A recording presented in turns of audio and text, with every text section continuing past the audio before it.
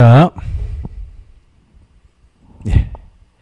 자, 이제 3절 보겠습니다. 제3절 페이지 19페이지입니다. 면적과 높이와 청수의 산정 방법. 이것도 항상 여러분들 건물 구조를 보는 방법인데 반드시 확인하시고 정리를 꼭 하셔야 되는 중요한 사항입니다. 보겠습니다. 자, 첫 번째 면적 나오죠. 우리 건물 볼 때 면적을 아셔야 돼요. 면적. 해서 보시면 네 가지가 나옵니다. 네 가지. 이 편을 오늘 지금 배우십니다. 이 편 중요한 사항입니다. 그래서 면적하면요. 크게 보시면 네 가지의 건축물의 면적이 있다랍니다. 첫 번째 보시면요. 건물 짓는 땅 대지입니다. 대지의 면적이 있습니다. 첫 번째. 두 번째 보시면 건축물의 가장 넓게 펼쳐 있다 해서 건축 면적이 또 두 번째 나옵니다. 또 세 번째 보시면 각 층별로 각 층별로 발른 바닥 면적이 있다. 바닥 면적이 또 나옵니다. 네 번째 보시면 이각 층의 바닥 면적을 전부 다 합한 것이 뭐냐 할 때 우리가 연면적이다 라고 부릅니다. 연면적. 이거 내가 중요한 사항입니다. 이걸 아셔야 여러분들이 여기 대지 면적과 건축 면적 요걸 아시면 우리가 건폐율이라는 또 중요한 건축물 시안인데 건폐율 건물이 듣고 있는 어떤 건축물의 면적 대, 대지에서 건폐율도 확인하시고요. 그 다음에 요 대지하고 이제 여기 이 연면적 이걸 아실 때 그 용적률, 용적률 이걸 우리가 확인할 수 있다 해서 중요한 어떤 건축상의 용어입니다. 건폐율, 용적률 나옵니다. 자, 첫 번째 보시면 대지 면적이 나옵니다. 어? 건물 짓는 땅, 농지가 아니고 산지가 아니고 대지다.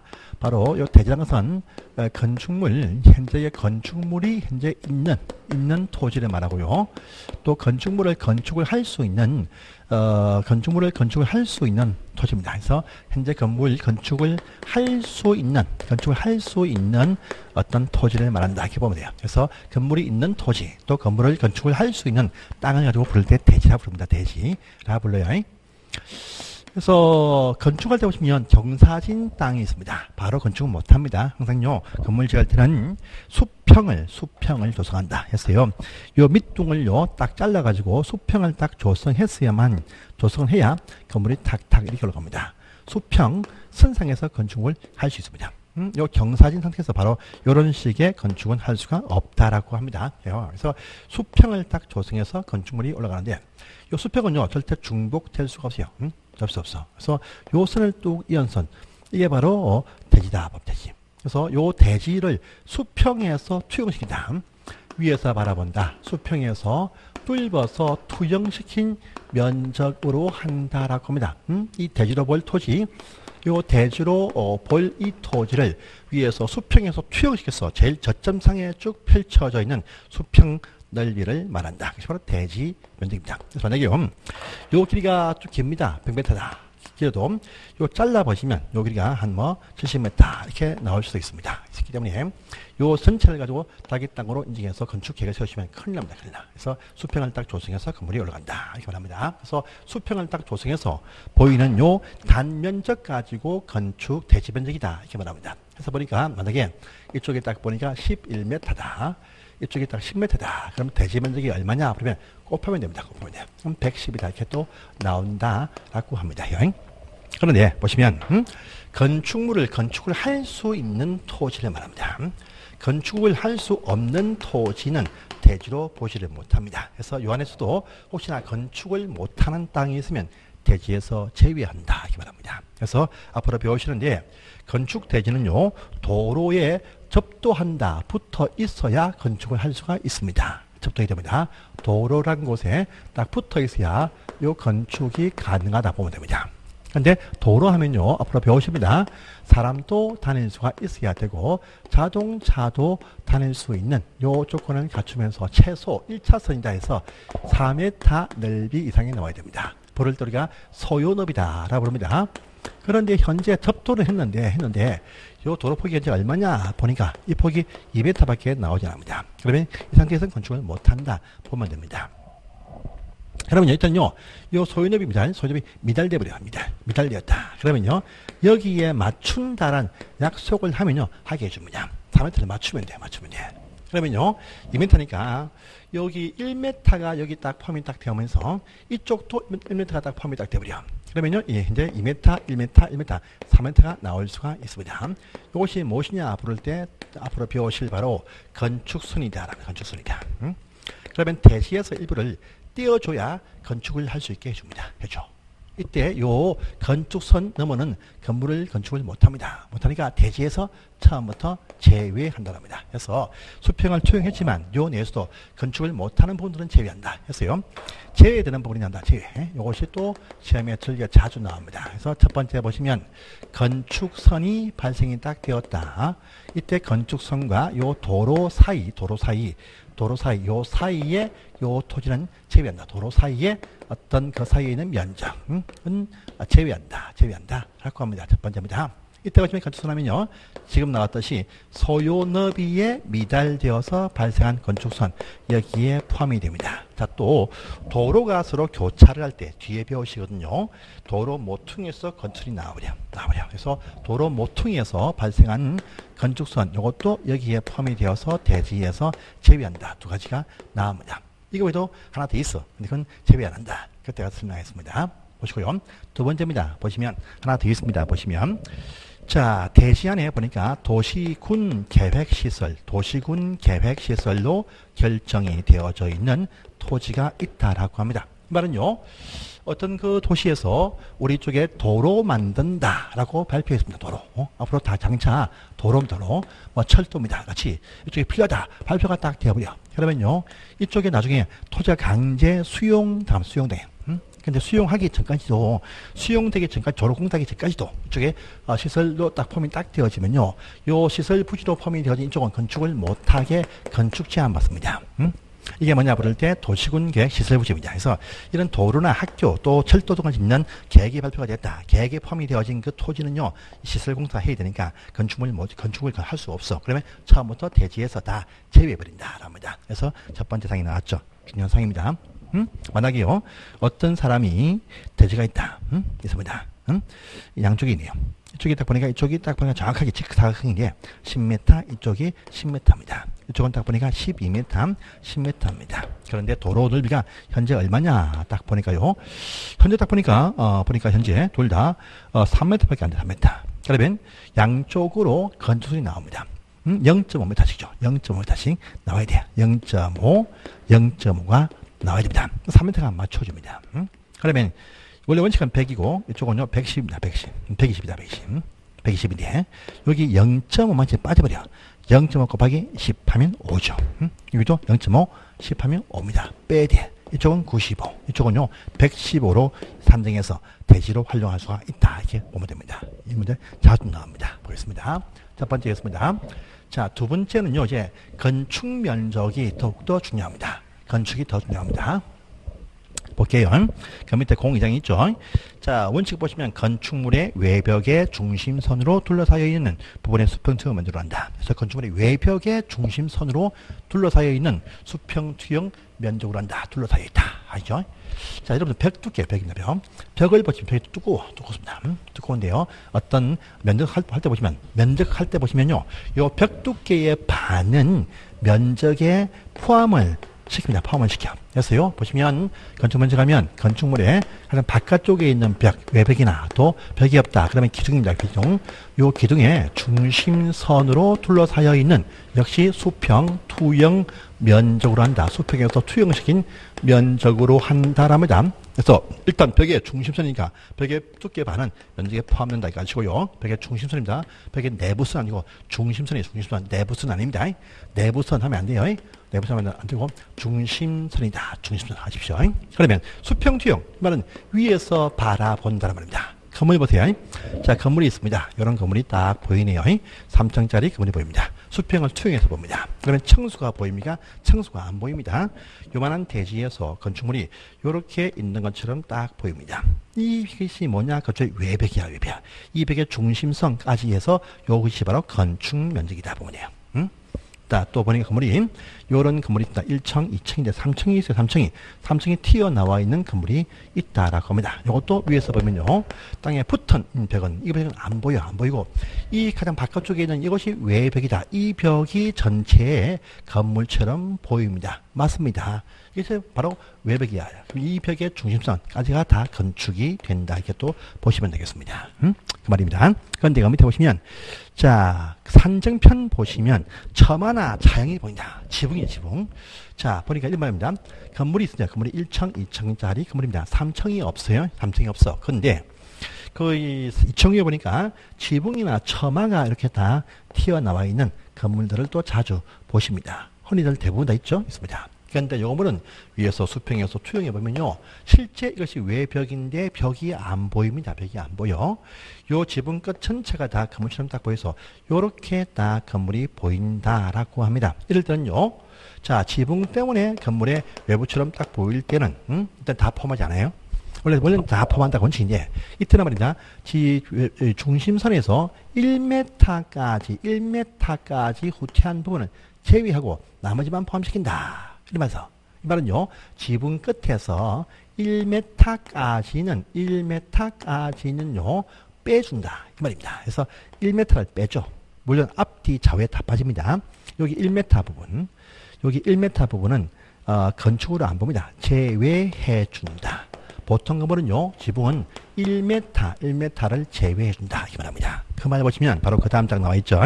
그래서 다음 장에 보시면 기본이 박스 안에 보시면 리얼의 그 밖의 건축물에서 1m, 1m가 원칙이다. 1m 빼줍니다. 그런데 요 건물이 무엇이냐 봅니다.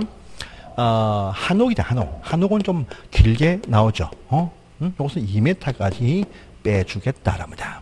자, 또, 그 제일 밑에 보시면 전기자동차, 요 전기 자동차에 충전 시설, 요 충전 시설을 갖추고 있는 공동주택 건물 참하는요 2m까지 빼주겠다 이렇게 나옵니다. 자, 또, 어, 저기, 그 축사, 어? 우사나 돈사나 회사들, 축사 같은 경우도 이, 이, 이거는 3m까지 빼준다 되어 있습니다. 또 전통사찰, 전통사찰, 절 건물이 있죠. 이것은 4m까지 빼줘요. 4m 빼준다. 혹시나 전통 사찰하면요. 전통 사찰 보전법상의 사찰을 말합니다.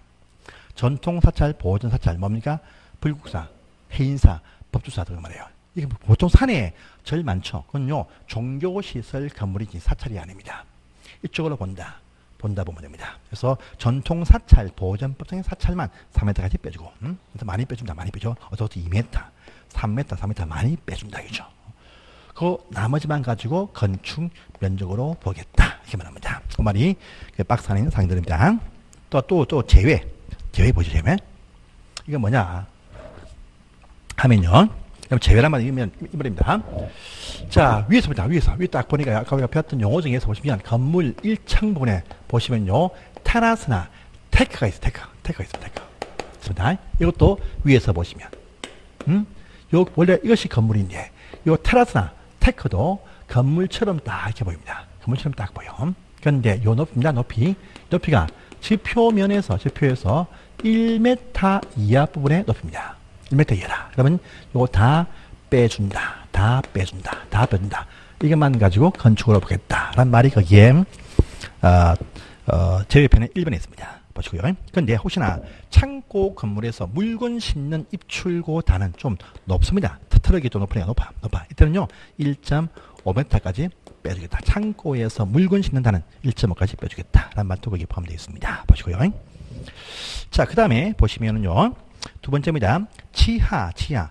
2번, 3번 다 지하, 보죠, 지하. 아, 먼저입니다. 이번에 보시면 건물 지상층에 보시면요, 보행자나 보행자 출입에서 더 보행자 출입구 지붕 지붕이 있어요. 어떤 아, 아크릴로에서 비 맞지 않게 있습니다. 음?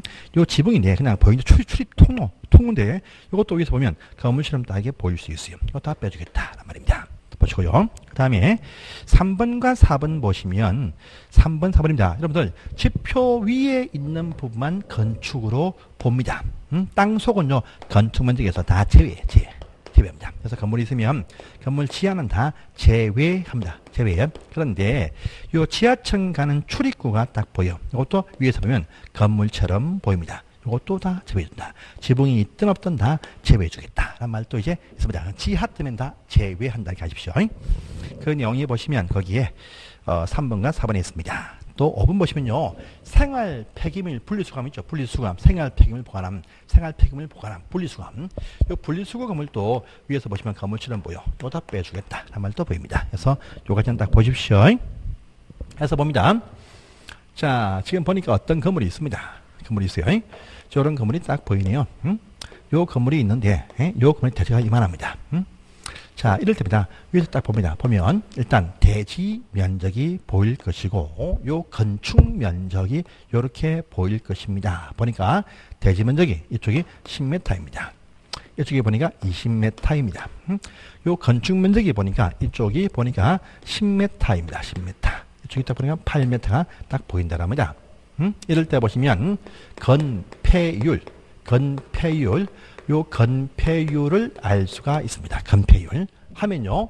건축물이 대지에서 폐 덮고 있는 비율을 말합니다. 공식 보시면 요 대지 면적에서 차지하고 있는 건축 면적 요 건축 면적의 비율을 말한다. 비율 하면 곱하기 100%입니다. 음?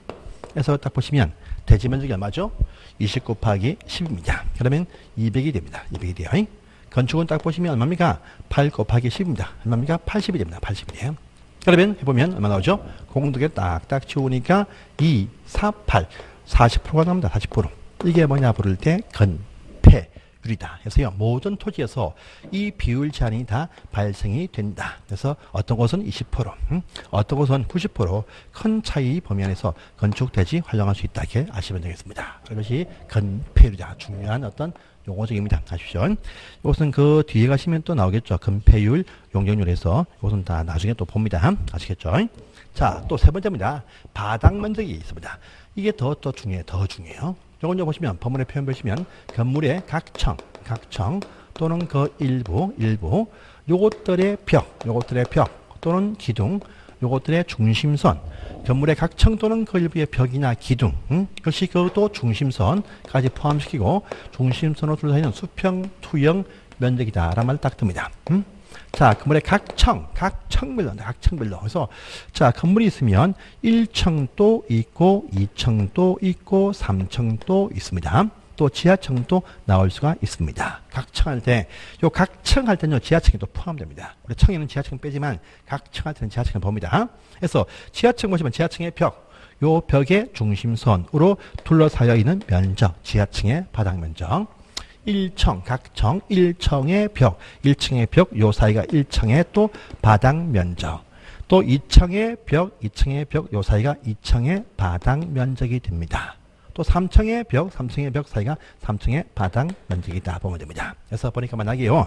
대지가 200제곱미터인데, 인데, 자, 지하층 바닥이 100제곱미터가 나왔습니다. 1층도 100이 나왔습니다. 2층도 100이 나왔습니다. 3층도 100이 나왔습니다. 이 100이 뭐냐? 각 층별로 바닥 면적들. 3층 바닥 면적 100, 2층 바닥 면적 100, 1층 바닥 면적 100, 지하층 바닥 면적 100이냐. 음?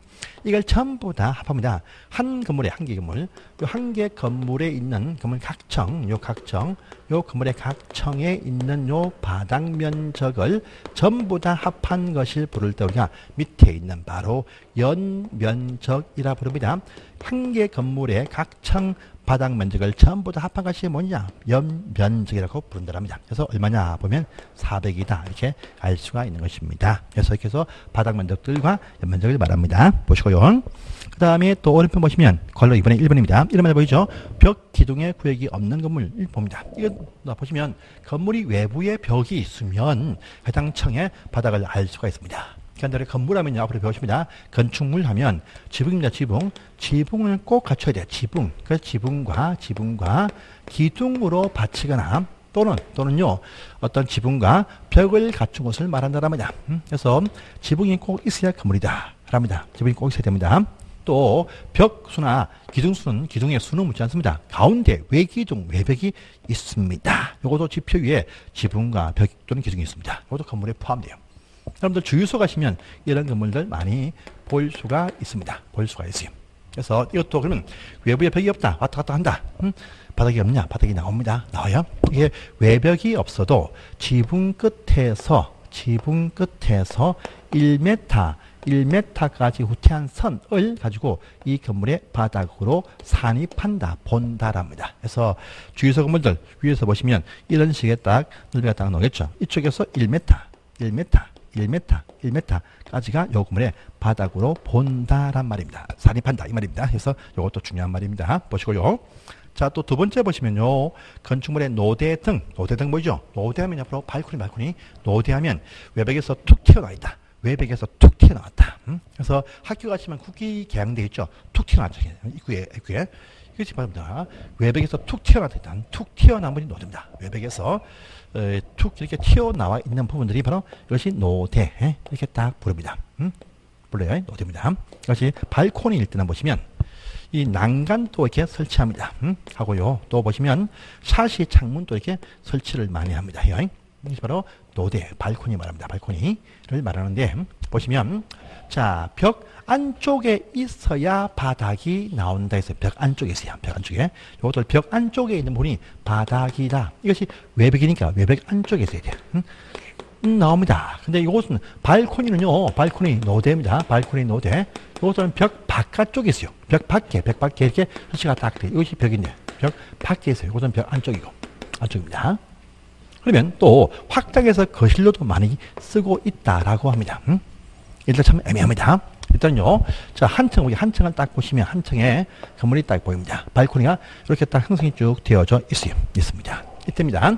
이때는 가장 긴 벽, 가장 긴벽 접한 부분, 가장 긴 벽에 접한 부분에서 여기 수평거리, 수평거리, 수평거리로 1.5m까지를 곱한 값, 곱한 값, 곱한 값을 뺀, 음, 뺀, 뺀, 뺀 나머지, 뺀 나머지는 바닥에, 바닥에 산입한다, 더한다라고 합니다.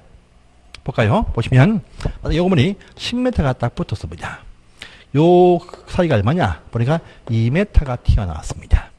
그러면요. 자, 요쪽은 이제 만약에 이쪽이 10m입니다. 10m고 이쪽에도 20m입니다. 20m. 원래 한 층이 곱하면 이제 이것이 200입니다. 200인데 요쪽 부분이 애매합니다. 애매해요.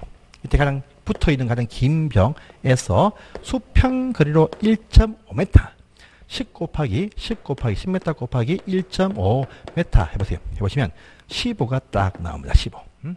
곱한 값은 15입니다. 15. 그런데 요 같은 경우는요. 10m 곱하기 2가 아니라 20이다. 20이다. 그러면 요 곱한 값, 1.5를 곱한 값, 음? 20에서 요 곱한 값 15를 뺀다, 뺀다. 남는 것이 5 남죠. 요건 여기에 더해진다, 더한다. 해서 요 척은요, 205가 된다. 이 말 되겠습니다. 그래서 가장 긴 벽에서 수평 거리로 1.5m까지를 곱한 그 값, 값 숫자를 빼고, 빼고, 나머지는 바닥에 더해버린다, 더해버린다. 말 되겠습니다. 그래서 이것이 2m고 10m이면 20제곱미터인데, 음?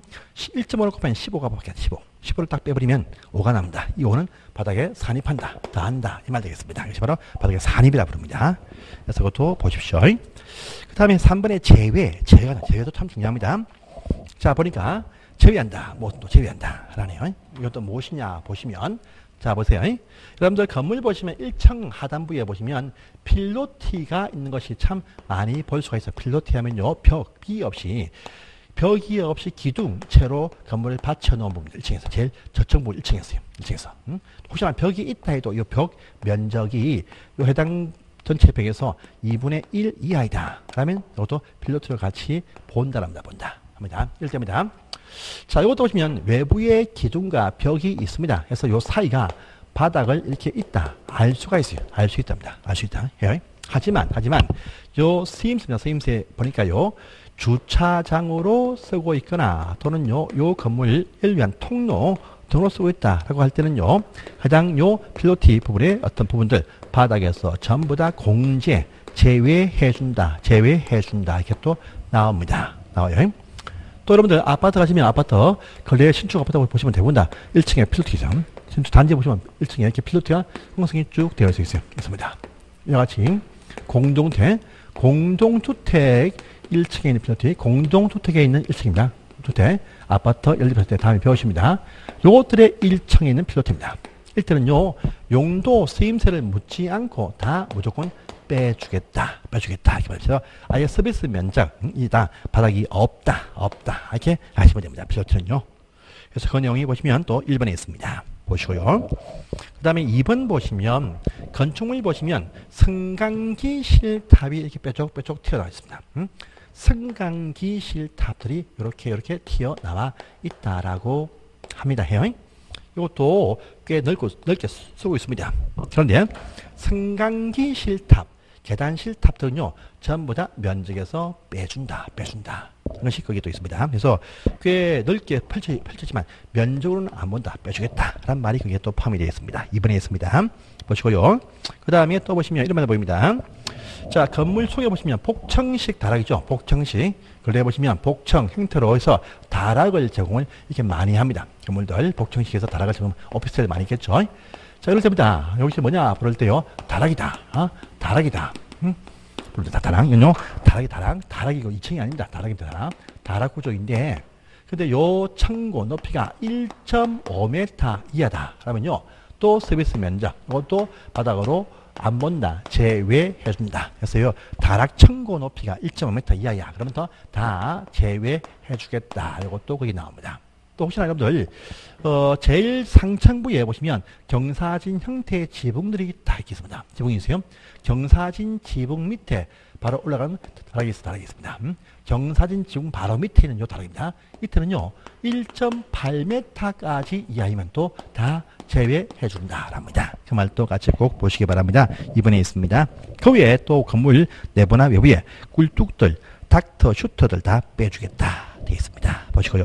그 다음에 또 3번 보시면 자 공동주택 저 아파트 가보시면 요 공동주택 지하 말고요 지상입니다 지상. 요 공동주택이다 공동 공동주택 음, 요 지상층에 있는 각종 어떤 전기실 기계실 또요 놀이터 시설 각종 어떤 또 조경 시설 생활 폐기물 보관함 분리수거함이겠죠 분리수거함. 그래서 전기실 기계실 어린이 놀이터 또 조경시설, 또 생활 폐기물 보관함, 분리수거함 다 면적에서 빼준다, 빼준다 합니다. 이것도 같이 봐주세요. 그래서 5번까지, 3번까지 보십니다. 그 다음 사항들은 지금 볼 필요가 없어요. 통과를 하십니다. 그래서 한단 넘어갑니다. 다음 장 가세요.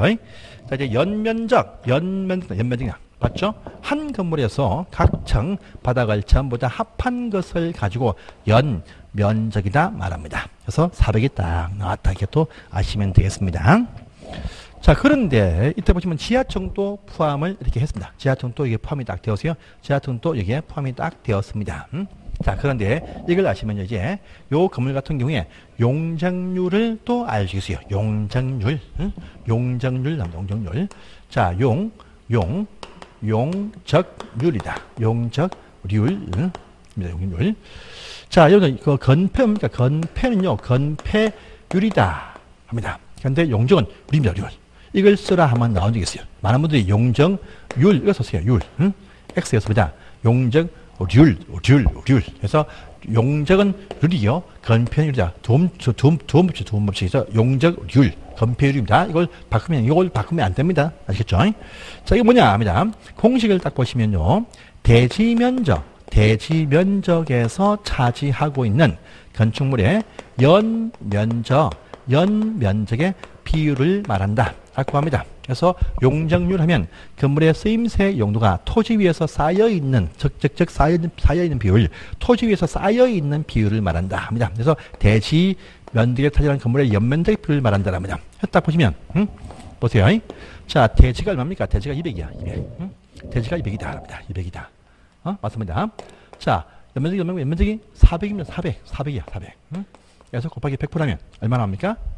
자, 공 두 개 딱딱 치우니까 2분의 400 해서 200%가 딱 뜨죠. 응? 그런데 이것이 아닙니다. 아니야. 응? 연면적은 분명히 400이 맞아. 400이 맞아. 맞습니다. 그런데 용적률 할 때는요, 건물의 용도가 쌓여 있는 비율이죠. 쌓여 있는 비율. 응? 자, 쌓였다. 대지 위에서 쌓였다. 쌓였다. 쌓였습니다. 근데 지하는 쌌습니까? 팠죠. 팠죠. 지하도 지하층 부분도 연면적에 포함된다. 포함되지만요. 용적률 할 때는 쌓인 부분만 말해. 쌓인 부분만. 그래서 지하층은 팠으니까 빼버려. 빼줘. 빼줘. 그래서 용적률 할 때는 보시면 여기 연 면적에는요, 보시면 용적률 계산할 때는 또 무엇을 또 추가로 네 가지를 또 제외해 준다. 제외죠. 음? 지하층 부분들 연면적에 포함이 된다. 하지만 용적률 할 때는 또 제외해 준다가 딱 듭니다. 지하층.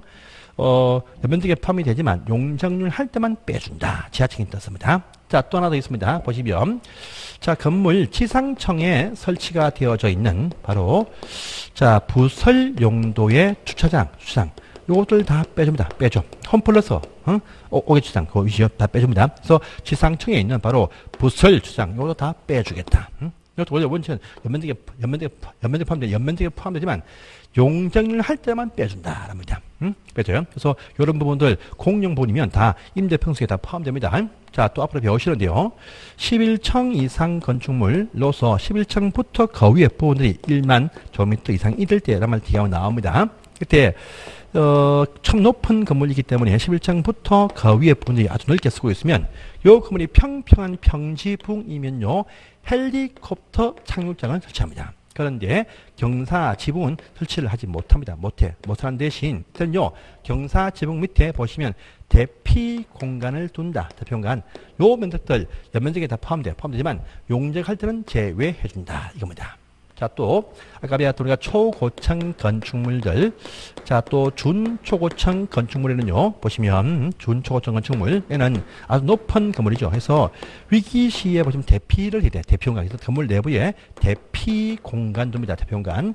요 대피 공간 명칭이 무엇이냐 하면요, 이것이 피난 안전구역, 피난 안전구역이다. 이렇게 표현합니다. 요것들 다 공제해줍니다. 음? 이것들 연면적에 포함됩니다. 포함되지만 용적률 할 때만 빼준다. 연면적에 포함된다. 하지만 용적률 할 때만 빼준다. 이 말합니다. 그래서 네 가지 이 연면적에 포함된다. 포함되지만 용적률 적용할 때만 이렇게 빼준다. 빼줘, 빼줘. 빼주니까요.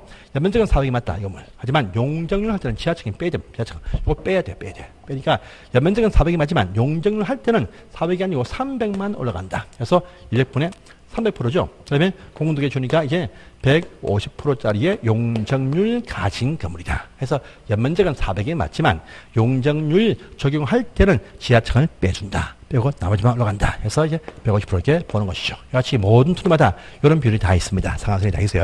그래서 이렇게 해서 연면적을 또하십니다. 보시고. 자, 이제 건물의 높이와 청소죠. 이건 다음 시간에 보겠습니다.